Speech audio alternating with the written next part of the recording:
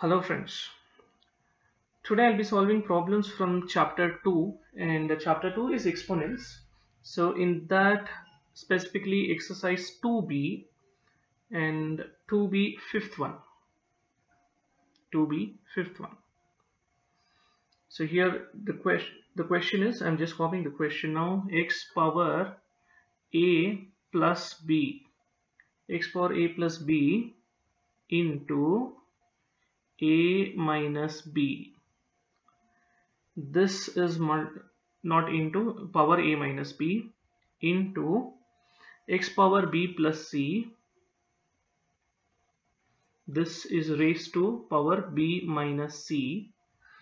And then x power c plus a c plus a. This is raised to power c minus a now x power a plus b and this is raised to power a minus b. I can multiply this a plus b and a minus b. I can multiply this too.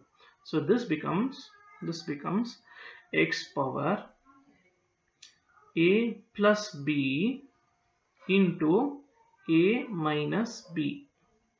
Similarly, this becomes into x power b plus c into b minus c and same thing here.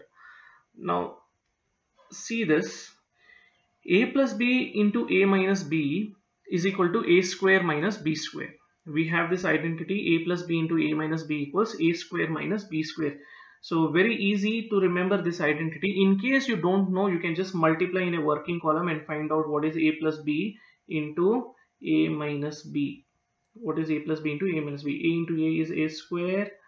a into minus b is minus ab and b into a is positive BA or positive AB both are same plus B into minus B becomes minus B square.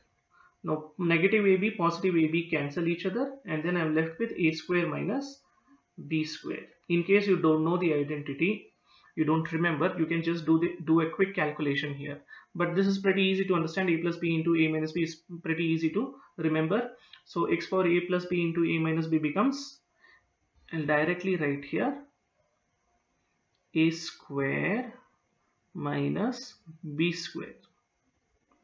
Then what we did here exactly like that. For the next part also we can write it as x power b plus c into b minus c becomes b square minus c square.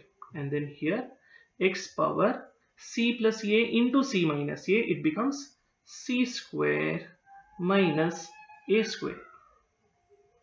Now this is equal to this is equal to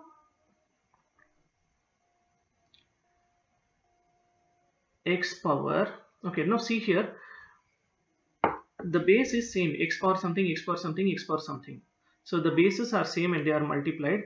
We can add the exponents. This is one of the laws of exponents. We have studied this in our, in our previous classes so this is equal to this is equal to x power a square minus b square add this plus b square minus c square plus b square minus c square and then add this plus c square minus a square.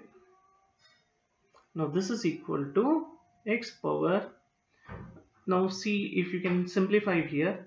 Yes you can simplify because positive a square negative a square. Cancel each other. Similarly negative b square positive b square cancels. Minus c square plus c square cancels. Minus b minus b square plus b square minus c square plus c square. So here in the exponent or in the index I'm left with 0 x power 0 and anything raised to 0 is 1 so this is the solution. This entire thing is simplified to 1 next problem. Next problem is problem 6